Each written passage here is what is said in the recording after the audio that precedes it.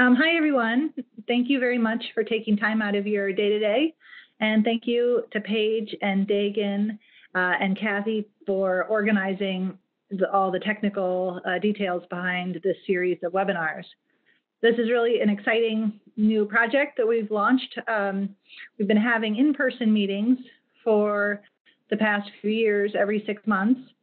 And in our more recent meetings, we've been really tracking online um, attendees who dial in with the streaming services. And oftentimes the remote attendees are more than the in-person attendees.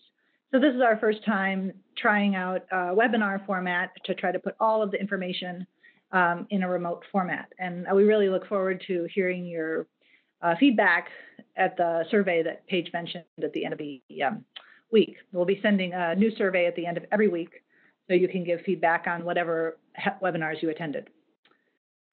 So um, I'll be talking today about what we've been doing for the past few years through the NASA Health and Air Quality Applied Sciences team. And there's so much to talk about. Of course, I can't cover it all in just 40 minutes. And that's why we have uh, about four weeks worth of webinars digging into specific issues. This morning, our program manager, John Haynes, gave a really nice overview of how the HAQAST project fits into broader activities at NASA headquarters. And I'll be talking to you about what HAQAST is, how it's worked, um, what makes it a little different than a traditional NASA research program, and giving some examples of um, the work that we've done, but also kind of the structures that have promoted those works and what works and what doesn't. So just to start out, um, I'll note that uh, we'll be using the term HAQAST a lot uh, today and in future webinars. And if you haven't been familiar with the work of our team, I'd really encourage you to check out our website, which is haqast.org, H-A-Q-A-S-T. And we are a mission-driven organization uh, funded by NASA to bring NASA science down to earth and deliver it into your hands. And when we say, you know, the hands of stakeholders, we are referring to any organization working in health or air quality who could benefit from using NASA data in a way they don't yet, or in new ways. They may already be a user, but could um, uh, adopt and benefit from NASA investments in new ways. So a lot of our work is trying to build the connections with new organizations and to uh, work with the partners who've already expressed interest in our work. So on our website, it talks about who we are, some of the projects, news, um, tools and resources, which is a great place to get started if you've never used NASA data before. And we've also archived um, material from all of our meetings, including the series of webinars. So when we think about what is HAQAST, um, as you know, it is the Health and Air Quality Applied Sciences team. This is a NASA funded applied sciences team, which is to say that it is structured around individual grants. There are 13 grantees, um, and the PIs of each grant are referred to as our members. So we have 13 members, but each of the 13 grants has multiple co investigators, graduate students, um, and others involved. So overall, we have well over 70 people in the HAQAST community. When HAQAST was announced in 2016, it was uh, envisioned as a three year initiative. Uh, about a year ago, there was a lot of um, uh, positive uh, response from NASA about the work that we were doing, and they extended the whole HAQAST project an additional year. So now it's been a four year enterprise and it's running through this summer of 2020. Um, I'll note that uh, NASA has just released on um, the 14th a new solicitation for a new HAQAST. So just like this team that I'll be describing to you was competed in 2016 and the 13 proposals were selected, that same process is going on this year in 2020. And that solicitation um, is online and it was also something that John Haynes talked about in his presentation this morning. Um, so we have this mission of connecting NASA science with air quality and health applications. We are focused on health applications that pertain to air quality, Um, although the broader um, activities of the Health and Air Quality Program at NASA do also tie into non-air related health um, uh, outcomes. The overall project budget has been about $15 million, which is divided across those 13 projects. And really, there's three types of work that go into HAQAST. One are the member projects, and these are what the 13 PIs and their co-investigators proposed when they submitted their proposal three and a half years ago. The second type of work are called tiger teams, and these are collaborative subgroups that formed through HAQAST in response to the needs and requests of different stakeholder organizations. And I'll be talking to you more about how the tiger teams were set up and how they were selected. And the third type of work we do is outreach and engagement and trying to respond to requests that come in. Because what we found is that uh, there's a lot of work that needs to be done around building relationships and sharing information and widening access to the work that we're doing to make sure that it's having the maximum impact. So I'll be talking about all of these over the next uh, few minutes. In terms of who's on the NASA team, the 13 PIs are listed here um, on the slide. Uh, I'm the team lead. Brian Duncan is our next uh, webinar speaker on Thursday, uh, is on the team. Arlene Fiore from Columbia University, Minghui Diao from San Jose State, Daven Henze at the University of Colorado, Jeremy Hess at the University of Washington, Yang Liu at Emory, Jessica Neu at NASA JPL, Susan O'Neill at the Forest Service, Ted Russell at Georgia Tech, uh, Daniel Tong at George Mason University, and Jason West at um, Chapel Hill and Mark Zondlo at Princeton. So a wide range of institutions that are represented, but also a lot of different areas of expertise.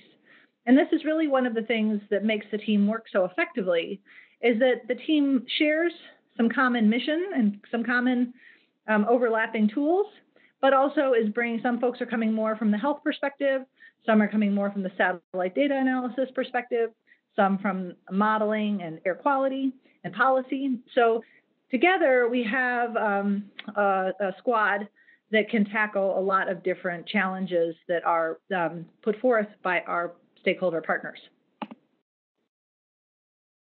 So when we say NASA data, what we mean really is any of the NASA tools and uh, resources that are available. These include um, portals like Worldview and Giovanni. It includes um, uh, aircraft campaigns like the Discover AQ data, uh, models, but the backbone of this type of um, resource are the satellite data. And there's lots of different satellites up in space that are monitoring metrics pertinent to air quality and public health. Um, and there are more being launched uh, all the time. In fact, just today was the launch of the GEMS mission by uh, South Korea. And uh, while that's not a NASA product per se, it is part of this global constellation. And our team is encouraged to use any of these space-based products that are useful to stakeholders. So one of the things that we've found over the years really works is this team structure to science. It's not appropriate for every scientific project, and it has a lot of uh, uh, unique characteristics. But for making uh, science as accessible as possible to a audience, we found the team really has some advantages. And HAQAST was formed in 2016, and it really built on the success of its predecessor, AQAST. AQAST ran from 2011 to 2016 as a five year initiative led by Daniel Jacob out of Harvard. And that had 19 members and a focus really on US air quality management. With HAQAST, the team size has shrunk a little bit to 13, uh, but our mission has gotten bigger to explicitly integrate public health as well as air quality stakeholders. And one of the things we've been talking with NASA about since the very formation of our team was this question of what makes 13 funded grants through a team different than 13 funded grants in a traditional framework. And what we found is that, that having the team structure increases the visibility of the work and the resources to different end users. It would be very difficult for um, a professional at a state air quality agency or a public health organization to figure out of all the hundreds of scientists who are working on satellite data, who is the right person to call for a question. But having the collective with meetings and a website and a newsletter, it provides kind of a front door for organizations to connect with NASA resources. And for many questions, somebody in HAQAST or one of our 70 co-investigators may be able to answer a question, but we certainly then would be able to help move the stakeholders' uh, question in the right direction, whether it's connecting with training programs like the NASA Applied Remote Sensing Education and Training Program, ARSET, or with other researchers um, in the US or around the world. Also, a team uh, can build a culture to support and promote collaborations and uh, synergies. We found that there's oftentimes uh, these, you know, real world problems don't always fit into one particular discipline or into the research program of a single investigator. But when you bring two or three or five different investigators together, they may have the expertise to tackle something that no single person would have been able to address. And most real world problems cut across issues and cut across tools. And so we found that having a team allows um, collaborative work to address real world problems more effectively. Um, because we have a lot of um, communication infrastructure uh, from these webinars to our website to our meetings, um, we have the capacity to build two-way dialogue, um, listening to stakeholders, integrating their priorities in our planning of activities, and um, getting uh, our results and plans disseminated in a way that they can respond to.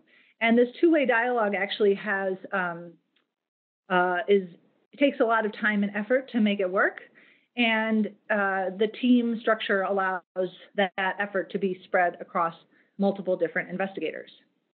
Um, the collaborations I mentioned about meeting stakeholder needs. Another thing is, since we've been meeting every six months uh, for the past three and a half years, we've seen that there's certain threads of research that really hold a lot of potential to meet stakeholder needs or to advance the science.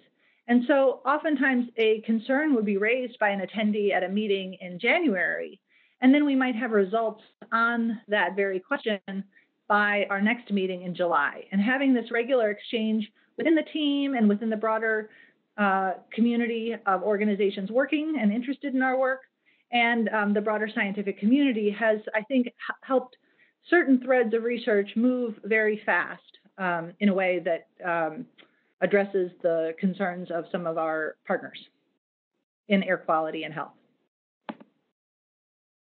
So some of our major accomplishments, um, what you see here are two um, photos from uh, our meeting.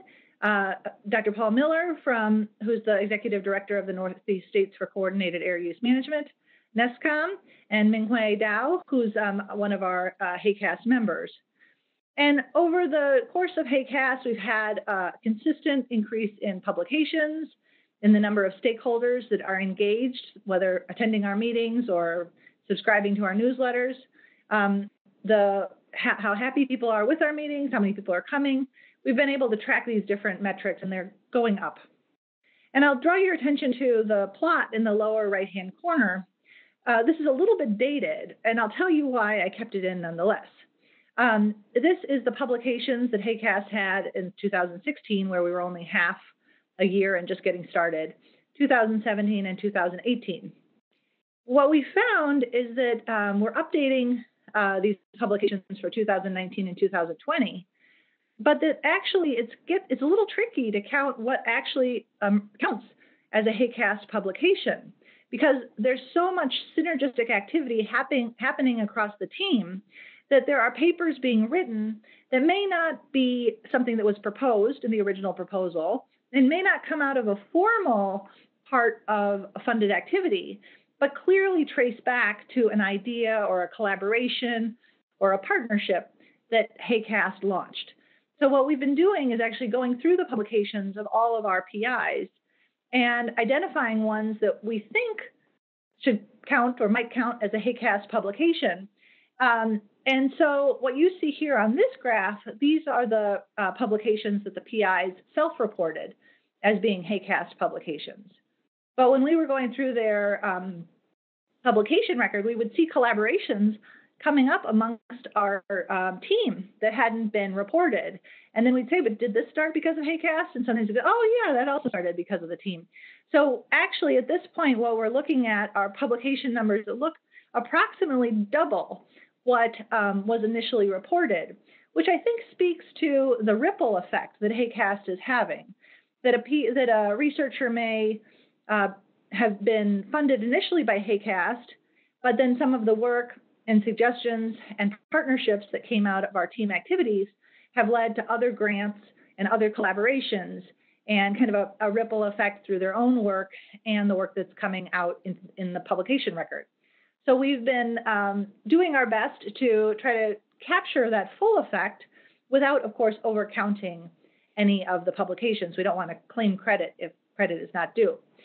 So well, at this point, we're going back and forth with our researchers to see how our um, how we can fully account for their HAQAST publication impact. Beyond publications, we have these um, team meetings, we have these webinars, we have a number of different successes, which I'll mention on the next slide. We have lots of collaborations, and we're engaged with other NASA activities. And as one example, um, Daegan Miller, who is the um, communications director for HAQAST, regularly attends the Office of Communication meetings um, at NASA to make sure that we understand what kind of stories would be compelling and that then they know what the work that's coming out of our group. So there's a few um, examples of work that I think speak to the uh, benefits of this kind of applied science team, and I'll give more examples as I move through the talk.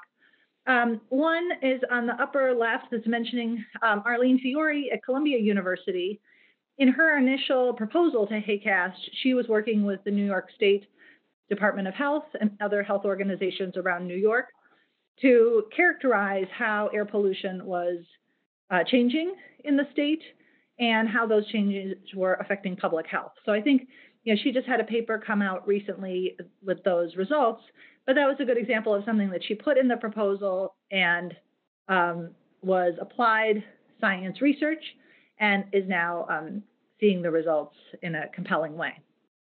Another example is um, the HAQAST uh, has been building connections with the Environmental Protection Agency, and that goes back to the air quality applied sciences team as well.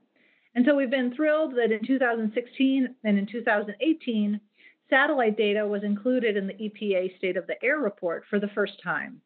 And really, for this, Brian Duncan gets the credit. Um, Brian's at NASA. And this has really, I think, been one of many threads of connection between NASA and EPA that have evolved over the past few years. And we're looking forward to having a meeting at EPA, uh, at the EPA Air Office in June to further explore how um, NASA and EPA could connect around air quality. As a third example of some of the work coming out of the team is a paper that was uh, published uh, at the end of last year in the Journal of Air and Waste Management, led by Minghui Diao. Um, it's uh, at the at the screenshot on the slide, and most of those uh, co-authors, not all, but most, uh, are from HAQAST. And this paper was really trying to address a question we got over and over, which is how good are satellite data for deriving ground-based PM 2.5? And this is a really great question that doesn't have an easy answer. So we wanted to write a paper that laid out what we know, what we don't know, and kind of provided a background for organizations that were thinking about using PM 2.5 data and wanted to know what was the state of the science. So this came out of a Tiger team and really was a paper written in direct response to questions we'd heard during our meetings. So in addition to something that worked being the team structure, another thing that we found works is meeting users where they are. And I mean this on a few different levels. Uh, one uh, is that when I started with the AQAST team in 2011, and I think this is typical of many of us who are really excited about NASA data, there's this feeling that when an organization hears about really cool data, they'll start using it. And if, if you build it, they will come. But what we found over the years is that that is not how this process works. Um, you know, there's sort of five stages, so to speak, of uh, engagement with NASA data. And I would say the first is making a new organ- making an organization aware of what data sets are out there that could be useful to them. But oftentimes these organizations may be initially skeptical.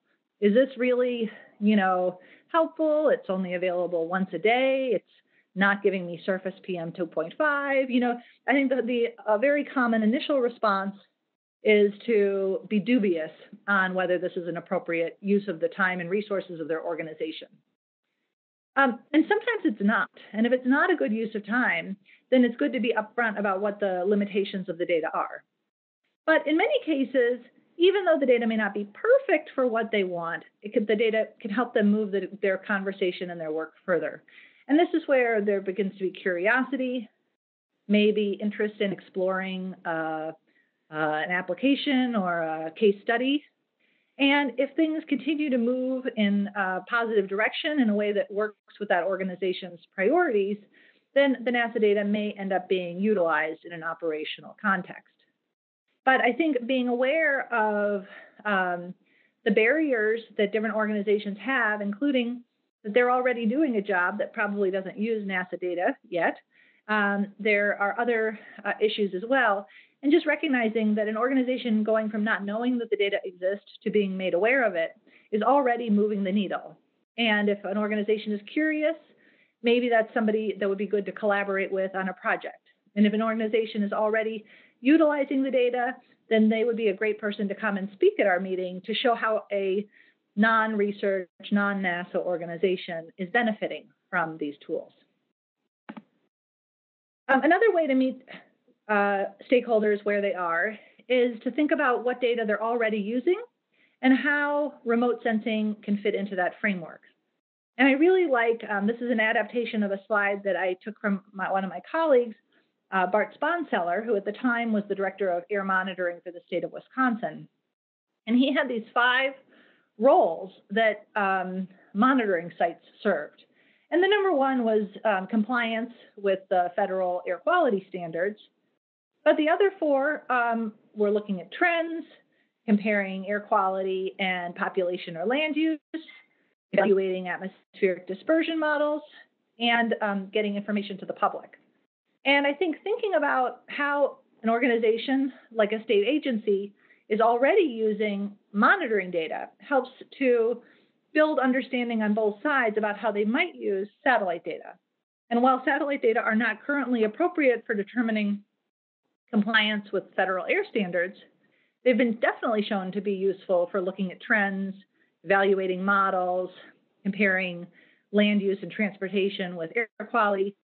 And um, they're actually very well suited for air quality communication with the public. The compelling uh, maps and images, and just the idea that you can see these chemicals from outer space, I think is very uh, evocative uh, with a lot of the audiences that I've spoken with.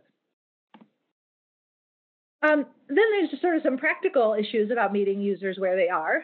We have moved our meetings around the country. Our very first was in uh, Georgia, hosted by Emory University, then in Seattle, hosted by the University of Washington, in New York, hosted by Columbia, um, here in Madison, Wisconsin, um, hosted uh, by UW Madison, then we were hosted by Arizona State University uh, uh, for our fifth meeting, then at, in Pasadena near the Jet Propulsion Lab for our sixth meeting.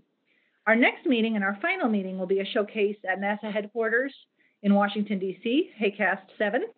Um, but we also have, of course, these webinars that are going on now that are taking place in the cloud so I didn't know where to put them on a map. Um, but this idea that we're trying to move our meetings around to reach different audiences and stakeholder groups. Um, we, uh, for the past few meetings, have benefited from funding from NASA to fly in stakeholders um, to these different meetings to broaden the geographic reach and the organizations that we can serve. We have been streaming all of our meetings. Um, the technology for the streaming, we've been testing different things, so um, trying to fine tune what works the best. Um, these webinars, and actually a lot of our activities, uh, the Tiger teams and the individual projects use phone meetings to host regular interactions with their stakeholder partners.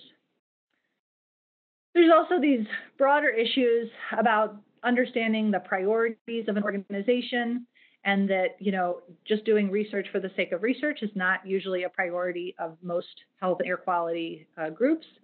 Um, that air quality can be very political and litigious and so being sensitive to the context where different organizations are working we like to ask a lot of questions to understand where um, organizations could benefit most from nasa tools and data and being aware that uh, the data formats that are typical in the research community, like the NetCDF or HDF formats, are not typical with a lot of user groups. And so thinking about what is the format, maybe it's a time series that they could plot in Excel or um, shape files for GIS, but trying to be aware that there are sometimes um, small technical barriers that can be adjusted.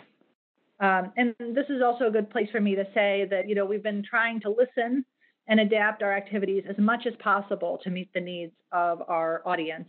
And one example is that we were asked with these webinars whether we could provide certificates of completion to show um, ongoing professional uh, education for organizations where that is a priority. And we hadn't thought of it, but as soon as we were asked the question, we knew we could easily do it. So if you would benefit from having a certificate of completion, please don't hesitate to reach out to me or to um, Paige or Daegan to uh, request your certificate. Um, we've uh, some a few more examples of the kind of work that has come out of this uh, enterprise.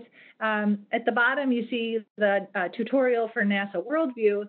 Uh, we were asked uh, a number of times if we could provide help on how to use some of the tools that were out there intended for broader dissemination. So we developed um, tutorials for NASA Worldview and NASA Giovanni. Um, there's been a lot of interest in how satellite data can support better emission inventories. And Mark Zondlo's work has been moving forward um, around uh, agricultural emissions. Daven Henze is also working on ammonia emissions from agriculture and trying to see how satellite data can support this clear need where um, and, and, working with air quality managers to make sure that that data, those data are out there. And Daniel Tong at uh, George Mason University has been doing a lot on dust storms. And we, you know, there's a lot of news items on our HAQAST website about all of these folks, but you know, I put this one here to make the point that he was being interviewed in Sierra Magazine. And one thing that's been very rewarding to me about working on this project is knowing that our NASA program managers are interested in how we are getting the word out through professional magazines and public venues, as well as peer reviewed publications. So it's not either or, uh, but trying again to meet the audience and different audiences in different places. Um, another thing that's been working of our team has been this idea of these tiger teams. Um, this is the term NASA uses for uh, short-term, high-impact projects. And in our case, they were collaborations that came out from the team after the team was already together, and there were uh, there was additional funding uh, allocated to these teams. Um, over the we've had eight Tiger teams. They're all listed on our website um, under the different tabs from 2017 and 2018. And we really had to think about what is the right way to be structuring these tiger teams. And I'll say that through the AQAST team, there was a lot of experimentation for different models. And toward the end of AQAST, we came up with a model that worked pretty well. And that has been what we've been moving with through the HAQAST activity. And basically, the idea is that we have these funded groups, these 13 PI led teams and we want them all to be engaged in a collaborative structure. Um, but we also want to have comp- competition, uh, one, because that's how NASA funds projects, and two, um, just because we want to make sure that the best ideas are bubbling to the top. But sometimes collaboration and competition can be at odds with each other.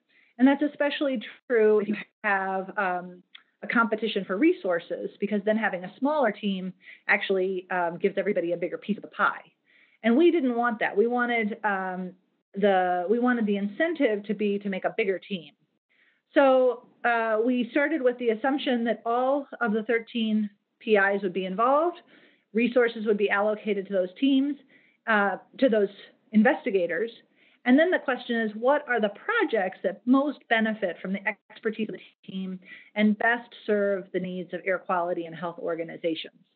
So we um, uh, we had uh, in each round short proposals developed by our PIs based on what they've heard and their own uh, knowledge of um, air quality and health organization needs. Then these short proposals were reviewed by uh, practitioners in health and air quality, sort of the stakeholders that we're trying to reach. And based on their reviews, then the funding was allocated. So over time, we've had the proposed initiatives that the HAQAST uh, investigators wrote in their proposal moving forward. And we've also had two rounds of competitive Tiger team selection. Uh, each was supposed to last one year. And then uh, when our team was renewed for an additional year, uh, I reached out to all of the leads of the Tiger teams to say, you know, if you could have one more year of funding, what would you do with it? And um, luckily, we were able to meet almost all of the requests for uh, continuing work. In some cases, the project was was done, and there was no continuing work. But in other cases, it was a great opportunity to double down on the successes. I'm going to skip over um, some of these, so I want to have plenty of time for uh, questions.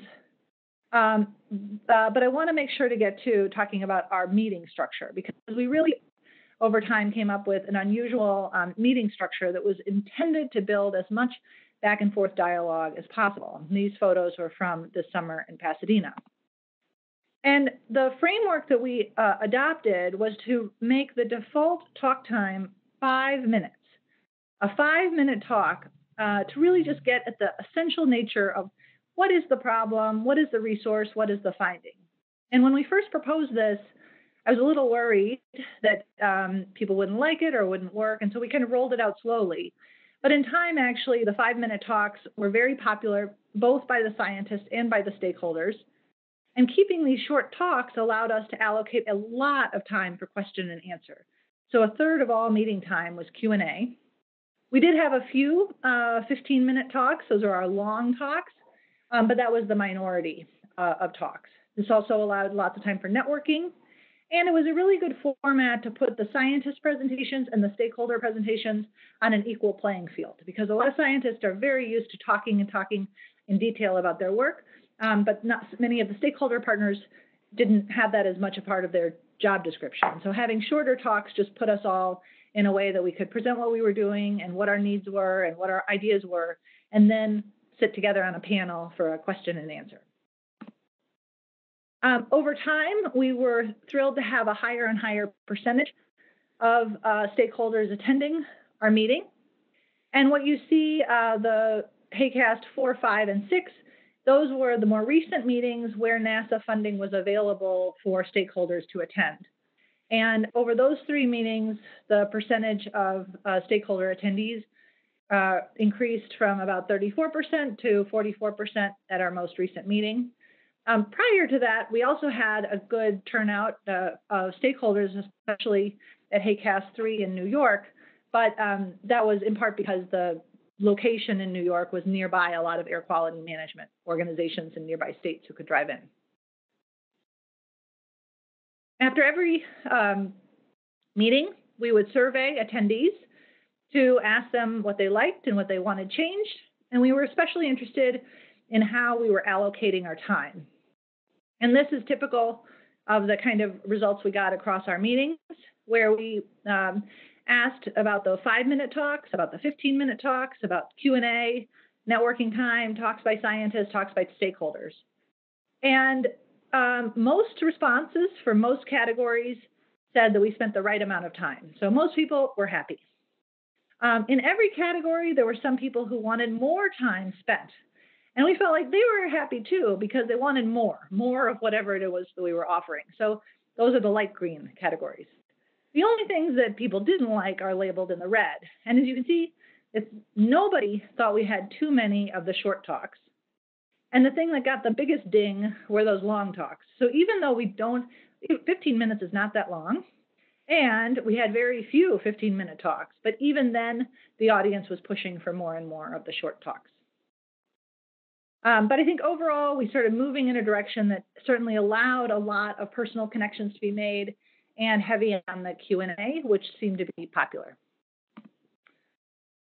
So I've been talking about the things that worked, um, uh, but there have also been some things that uh, that didn't work as well. And um, and just to um, you know, kind of set the the stage for those, I think one is expecting partners to embrace the unknown.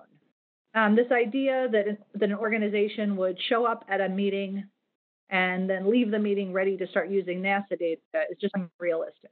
Our goal was really to build excitement, to find easy opportunities to connect, and then invite deeper engagement, whether it was attending a meeting or collaborating on a Tiger team or being part of a monthly teleconference, trying to build as many different ways to plug in as possible.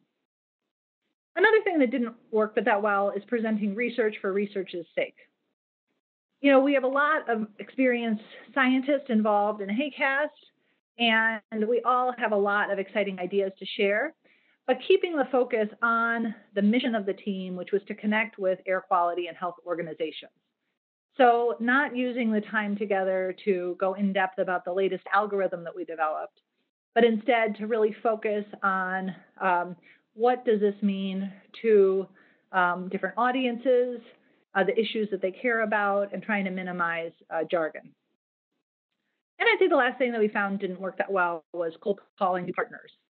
There, there's a, a major relationship human side to this process, and we really wanted to work on building relationships through different kinds of meetings on the phone, in person, and one on one.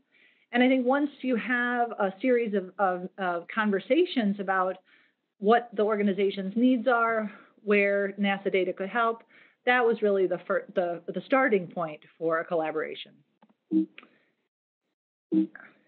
The, uh, um, so, and I'll say, I'll just end with this slide here, which is um, our website again, um, but also sort of pointing you toward these tools and resources that um, uh, are a good place to get started if this is uh, new to you or someplace to point stakeholders that you know who might be interested in using NASA data.